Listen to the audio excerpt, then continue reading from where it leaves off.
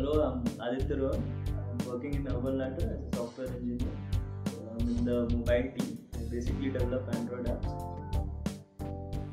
Can you briefly describe Urban Ladder in your own words? Uh, Urban Ladder is an e-commerce company. Uh, they have a web storefront, urbanladder.com, and a mobile app. Uh, so it doesn't have any offline stores or anything. It sells furniture and home decor items. The only office is based in Bangalore. So if you're in the tech team or in any of the operations teams, you will be working in Bangalore. How can we see the presence of Urban Ladder in day to day things around us? Uh, so Urban Ladder is an online only company, so you won't see any offline stores or any offline advertisements or hoardings around it. But if you can recognize Urban Ladder furniture, you might find it in some of your friends' homes or some of your relatives' homes. Other than that, I think Urban Ladder, Bangalore Airport, Urban Ladder has uh, decorated the lounge of that airport. So the seating and other home decor items in that airport are from Urban Ladder.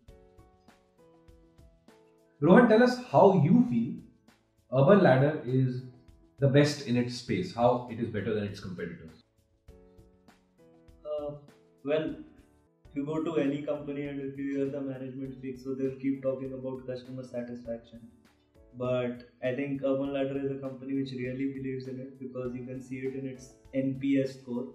So NPS is a benchmark by which we rate e-commerce companies, product companies in general. So Urban Ladder consistently maintains a score of around 0.7, 0.8, where even companies like Flipkart and Amazon struggle to be in the 0.5, 0.6 range. So I think it's a company which people are liking very much. If you see, it's just a four-year-old company, but it's done tremendous growth in this in that time. And another thing is like if you open that site and if you see the product range, so there's a very clear focus on design and quality, and not on making it making the pricing less or trying to sell customers through discounts. It's not really a discount-driven e-commerce company. So as its scale grows, it's very likely to go into the profit and do well for itself because it's not selling products to people on the basis of discount only. What are the technologies that Urban Ladder is currently working on? So Urban Ladder is very much a core e-commerce company. So it uses internet-based technologies.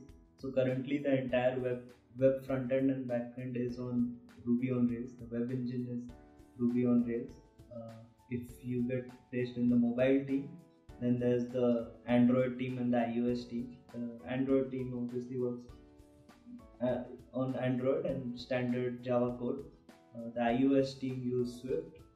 And uh, if you're in the internal operations team, which again is a very interesting team because there you have to handle supply chain and other internal operations like customer relations management. So all that is handled through a interface of Ruby and internally we use uh, Salesforce and Navision from Microsoft to automate the entire process of how uh, complaint by a customer gets escalated, uh, predicting delivery times for customers. So all that the internal process used there is Salesforce and Navision. Tell us about the exposure that you get at Urban Ladder outside of your work. Uh, so Urban Ladder is a pretty fun place to work at. So people frequently go on cycling trips, trekking trips, jogging trips. So you can be part of any of those groups. Uh, and you have monthly dinners whenever new people join. So there's an opportunity for the team to bond with each other. Uh, apart from that, there are a bunch of social activities that the company picks up. So they're in touch with various NGOs where you can give your uh, old books, clothes, and stuff like that. Uh, then uh, it's a new company, so it's a startup. So even for a fresher, there is not, not a lot of training time. You're expected to ramp up pretty quickly. The company moves at a very fast pace. So in an about a even in like six months or a year's time, you'll have a lot, lot of responsibility on you. You'll even be uh, told to do interviews, recruitments. So in fact, that's a good thing to do because when you're interviewing someone, you need to first get your basics right. So that's a good thing at Urban Ladder. And uh, whenever a fresh uh, fresh person joins, so irrespective of in which position you're joining, you will be going on uh, delivery inductions and uh, customer relation inductions. So what those two are basically is that you will be taking calls, whatever complaints the customers have, you'll be taking calls and you will be going to the customers' houses themselves to do deliveries. But it may seem like a tedious process. It will only be a two or three day process and it might sound like a tedious process to do, but it actually offers you a lot of context and insight on how the company's company works and the kind of challenges it faces. Like if you have to deliver a sofa to a customer's house where the lift is very small and the customer lives on the 25th floor, so what do you do?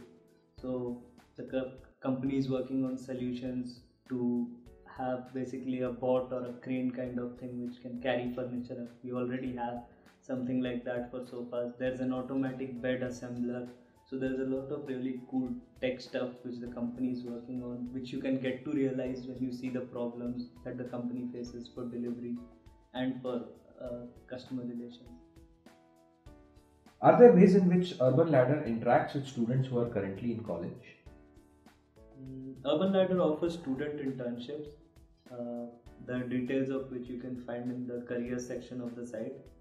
So you can apply for internships there. It's better if you have a two month or a six month internship. It will there are there's definitely a strong chance of getting a PPO through an internship. Rohan, how have you found the work culture and the work environment at Urban Ladder? Uh, so Urban Ladder is a really cool place to work at. It's a startup, and so your work timings and are very flexible. Uh, there isn't a lot of work pressure, but you'll be expected to do whatever task you have responsibility. I guess that's true for any company, but the good part here is that uh, most of the people you'll be working with are really cool. Uh, they're mostly not that old. They're also people who've taken risks and joined a startup. So even most of my managers and tech leads would be like three to four years elder than me.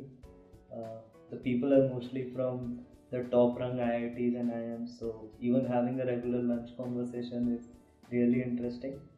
Uh, and in general, the office environment and the facilities at office is really good.